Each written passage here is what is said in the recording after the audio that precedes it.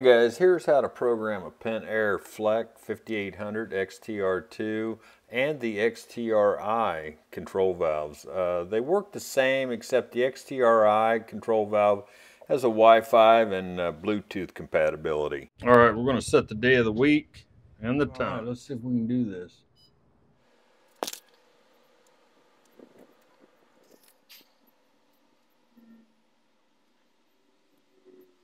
Guys, all right, guys, I'm going to try this, uh, see if I can program this uh, language, uh, set it to English. Assistant maintenance name. So the maintenance name on here is going to be... Uh... Hey guys, Fix It John. I'm just going to fast forward through here because this screen is totally non-responsive. Fix It John. So we hit the check mark. Bam. Uh, the phone number for Fix It John, uh, so just call that number and he'll be right with you. All right, guys, I'm going to program this uh, Fleck uh, 5800 XTR2. I want to hit this button here. Day override, day override time, off. Regen time, I'm going to set this uh, for 3 a.m. Sometimes uh, we got people up real late. Okay, now our hardness level here. Uh, it comes from the factory set at uh, 25 gallons, uh, 25 grains per gallon.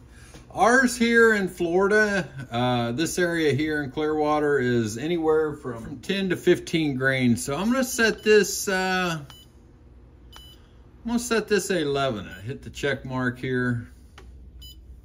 We'll hit this button again. And we'll hit this again so we can go into the uh, master, uh, master settings. Now, all over in this book, it says don't go into the master settings. If you're doing this yourself, you need to go into the master settings. Otherwise, you're not going to have a water softener that runs properly.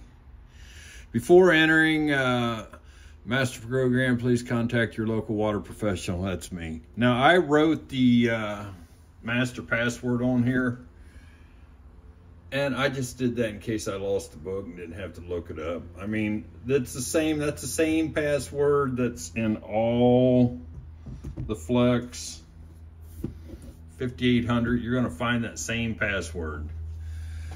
So we'll hit the check button. One, two, zero, one. Check mark. Okay, let's see what the format is here language English units US hardness units gallon. Grains per gallon. Check mark valve. Okay system four it's always system four 5800 soften meter delayed. Let me explain that to you here. Filter meter immediate. So that means if uh don't set filter for immediate set it for meter delayed right there. What was the other one in here? Tank sensor. I don't know what that is. Time clock. Now, if it's running off a clock, if you have it set for hours to uh, to regenerate, it'll regenerate immediately. But we're going to set it for softener metered delayed.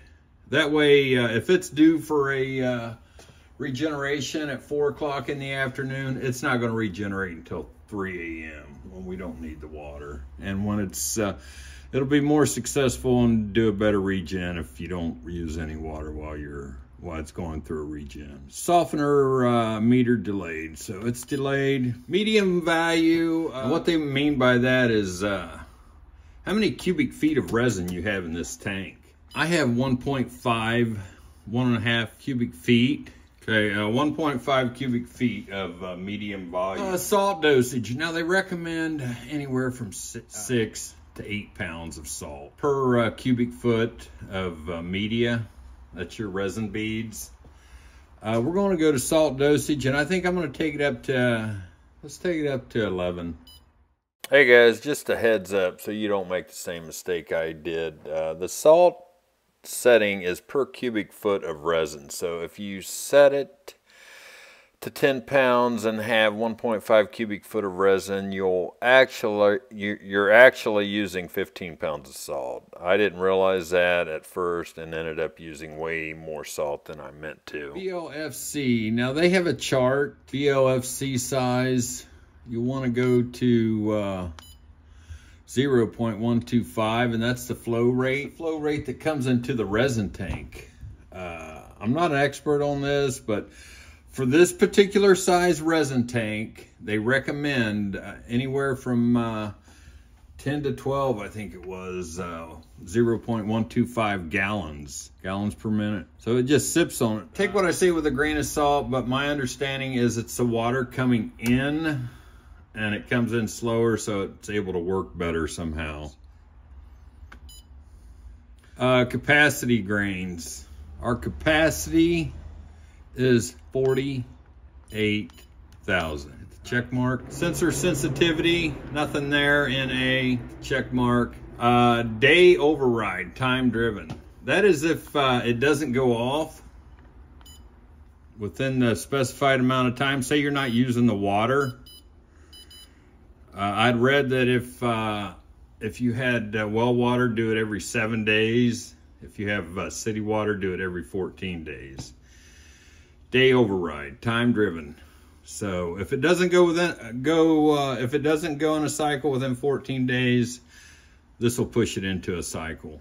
Weekly reserve, variable, reverse, fixed. We'll just leave it at that. Uh, regen, did, did I do that one?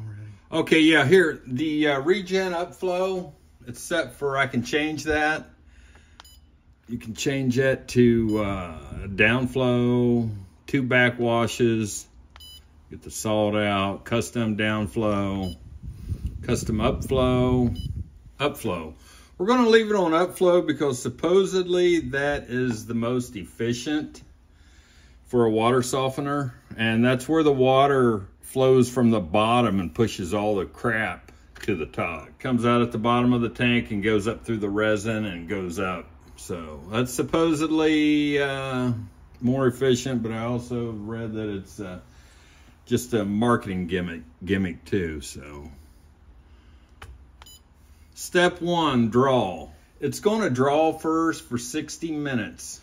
And what it's going to do is draw out of this tank for 60 minutes, time 60 minutes. Step two, then we do the backwash. Now this step, these steps will change if, let me go back to here. If I change the upflow uh, to downflow, uh, say for instance, the backwash may come first. Right here, step one will be the draw. So we'll use that one, 60 minutes, backwash, 10 minutes, rapid rinse, 10 minutes. Tank refill, 44 minutes. That refills the uh, brine tank. Okay, relay. Auxiliary, uh, you just leave those off. Meter type, we have, uh, took me forever to find the right one in the book, but uh, you've got all kind of meter types. Paddle, not very friendly to use this. Touchscreen sucks. It's a uh, 0.75 turbine. And I don't think you can do anything with that one. Emergency regen.